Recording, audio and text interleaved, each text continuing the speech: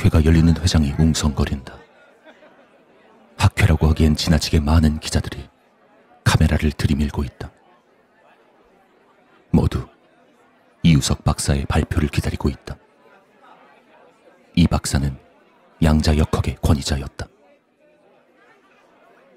이우석 박사는 오늘 상상도 할 수 없는 발명품을 이번 학회에 발표한다고 단언했었다.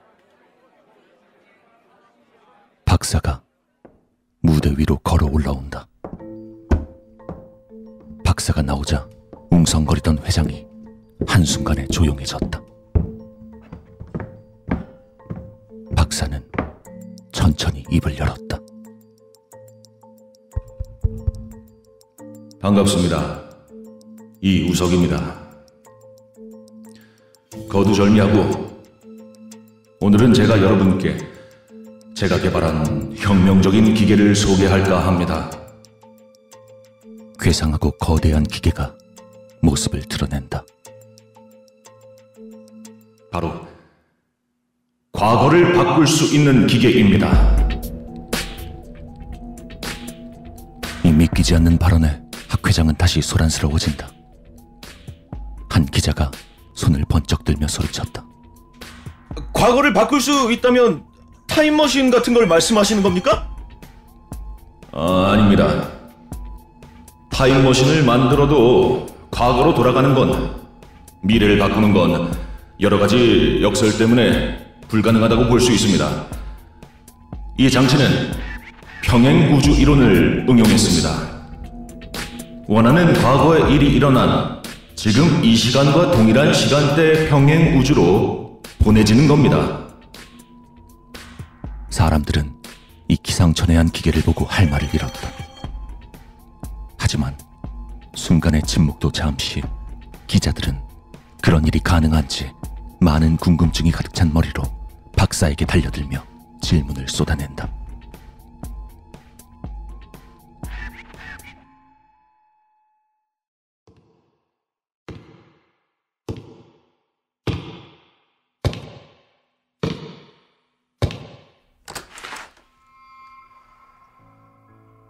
박사는 학회장을 빠져나와 뒤에 있던 고층 건물로 올라갔다. 거기엔 한 남자가 박사를 기다리고 있었다. 죄송합니다. 오래 기다리셨죠? 한때 한국에서 큰 성공을 거두고 전 세계로 뻗어나가는 것이 당연시 여겨졌던 SL그룹의 주재용 회장이 소파에 앉아 있었다.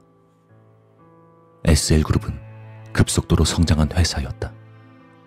하지만 연이은 투자 실패와 신제품에서 일어난 불량품 사건, 경영 실패로 지금은 파산 직전까지 가 있었다. 주재용 회장은 침울하지만 기대감이 차 있는 눈으로 박사에게 말을 건다. 반갑습니다, 이 박사님. 그러니까 이 과거를 바꾼다는 것이 실제로 가능하다는 말씀이시지요? 이 박사는 이 질문에 여유 가득한 말투로 대답한다.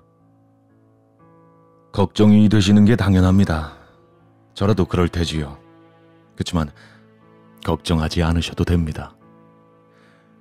사람의 인생엔 여러 가지 분기점이 존재합니다. 그 분기점의 수만큼 수많은 평행 우주가 존재합니다. 당신을 당신이 원하는 과거를 가진 평행 우주로 보내게 될 겁니다. 날짜나 시간은 현 시점이랑 같을 겁니다. 뭐 조금의 차이는 있을 수도 있지만 말이에요.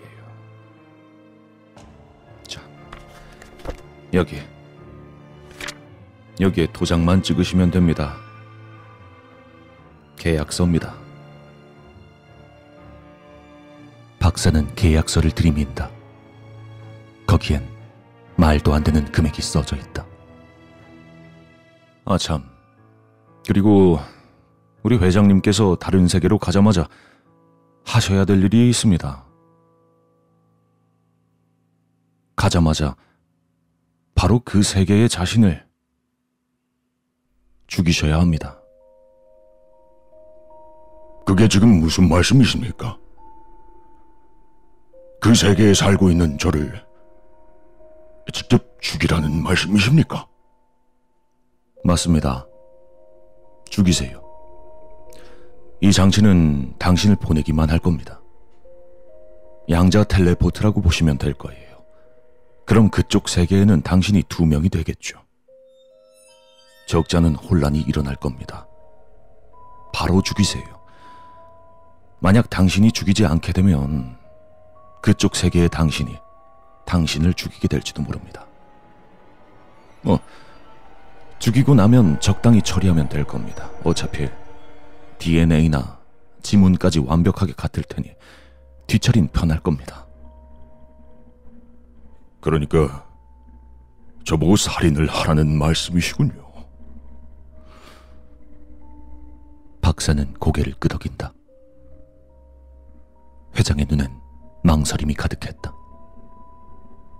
회장은 한참 동안 말을 잇지 못했다. 그의 마음은 접힌 듯 보였다. 하지만 얼마 뒤 다시 그의 눈빛이 돌아왔다. 저는 저의 실패를 되돌리고 싶습니다. 무엇을 걸든지 말이에요. 회장은 계약서에 도장을 찍는다. 그런데 그때였다.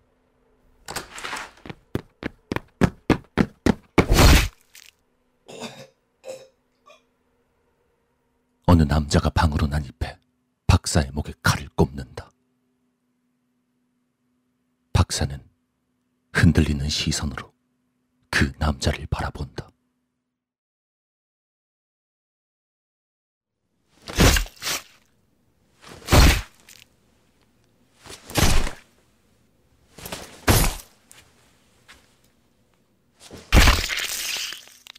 그는 박사 자신이었다. 칼을 든 박사는 피로 범벅이 된 칼을 내려놓으며 회장을 보며 말했다.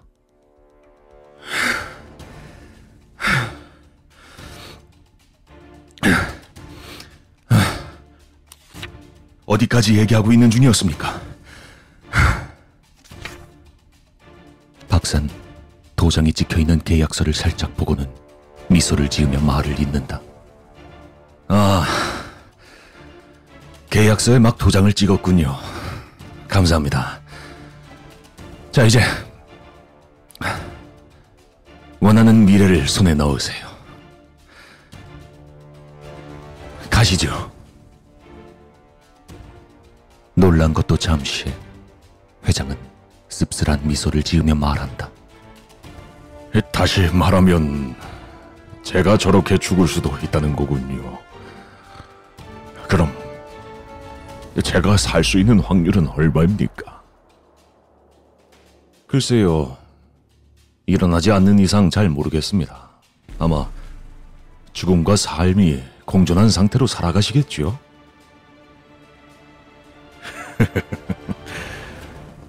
재밌네요. 그럼 전 고양이가 되는 건가요? 슈레딩거의